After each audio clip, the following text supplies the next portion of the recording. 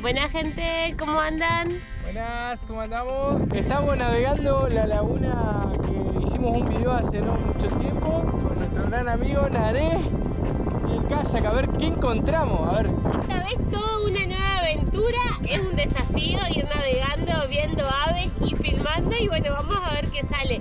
La verdad que está hermoso, sumamente cambiado como nosotros lo conocimos, que todo esto nosotros lo recorrimos a pata en aquel momento bueno, y ahora no ver cierta vegetación que antes se veía, bueno, mucha vegetación acuática, repollitos, camalotes, lentejitas allá. El duranillo blanco se ve que se ve, está crecido obviamente y, y se ve y la verdad Apenas que la flor se ve y bueno, el resto de, de la planta está bajo agua, ¿no? la idea es buscar especies de, bueno, de ambiente acuático y también de espinal porque ustedes pueden ver ahí toda la zona acá costera es todo un monte de espinal que está espectacular.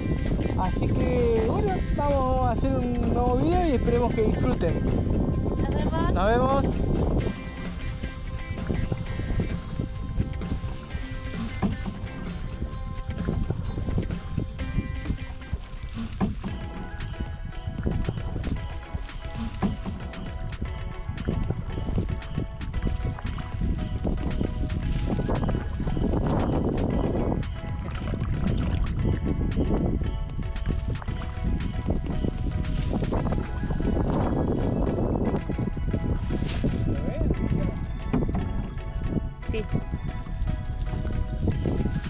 Se ven por allá las copas de los sarandí, viene el ras del agua, bueno, también hay espinillo, un par de ceibos, eh, bueno, cinacina.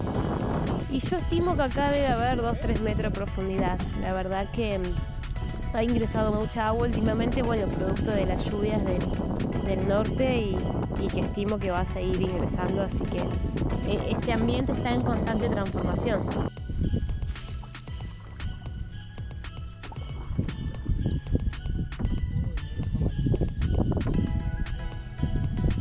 Qué belleza esta cina cina en flor. Hemos pasado por otras más atrás que tenían nidos de varillero congo. Bueno, me voy a poner a remar porque si no le estoy dejando todo al compañero acá y se va a cansar en cualquier momento. Igual está espectacular, la verdad que impresionante la biodiversidad. ¿Hace cuántos años estábamos esperando esto? ¿Hace cuántos años estábamos esperando que vuelvan a crecer los ríos, que vuelvan a llenarse de todas las partes bajas de estas zonas inundables para que, bueno, todo lo que es la biodiversidad Que se llene de vida. Claro, los peces, por ejemplo, ahora está lleno de peces por, por una cuestión de que vienen a probar esta agua tranquila. Bueno, acabamos de filmar la vivita lomo negro y la encontramos quitando telas de araña. Esas telas de araña la utiliza para la construcción de su nido, la utiliza para ligar todas las fibras vegetales que recolecta alrededor.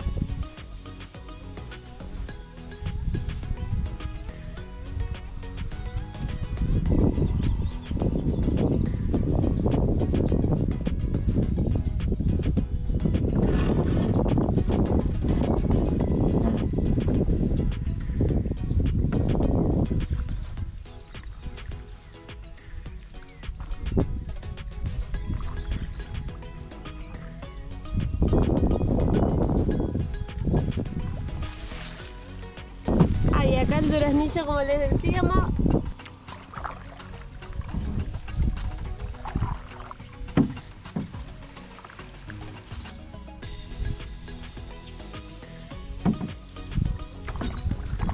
qué belleza esos camalotes en flor.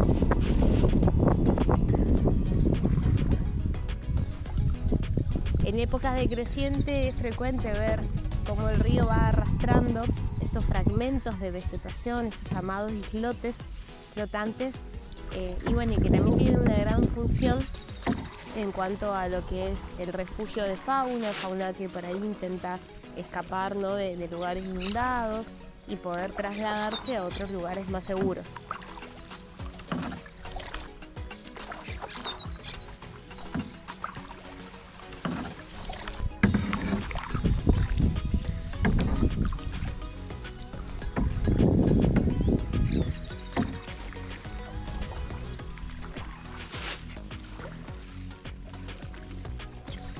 Se llama Pasiflora de Dulis o vulgarmente conocida como maracuyá.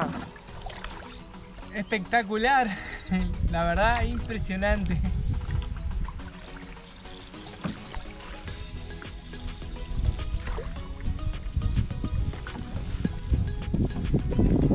Allá van patos.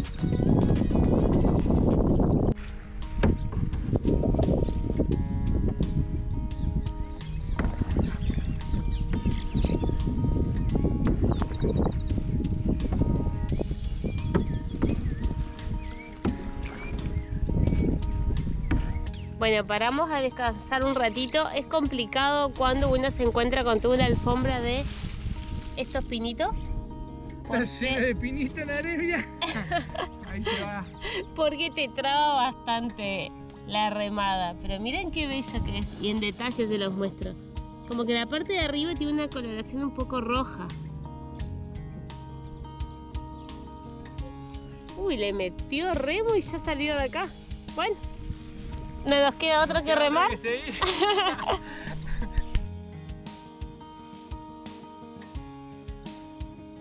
Miren dónde nos quedamos y tenemos que ir hasta allá donde está.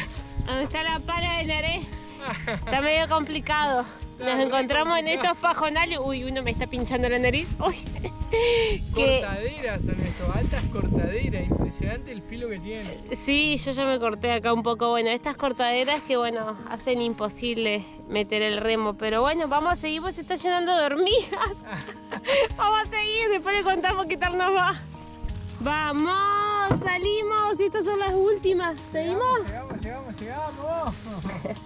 Estamos cada vez más cerca del arena. Levanta el remo, Naré, levanta el remo. Pudimos, pudimos, se complicó. Le tuvimos que meter mucho brazo, pero bueno, pudimos salir de esta.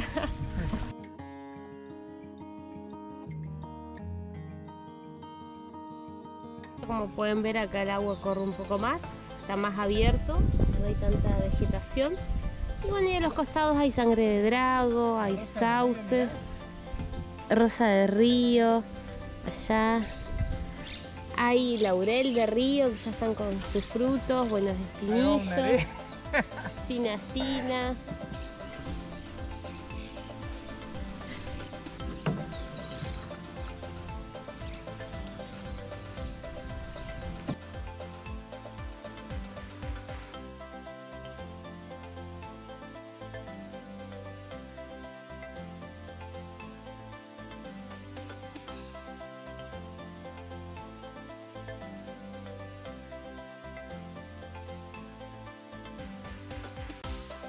Bueno, llegamos, eh, vamos a descansar un rato y después vamos a recorrer ese montecito que Ari le había señalado al principio que teníamos ganas de conocer. Así que bueno, vamos a ver qué encontramos en el camino.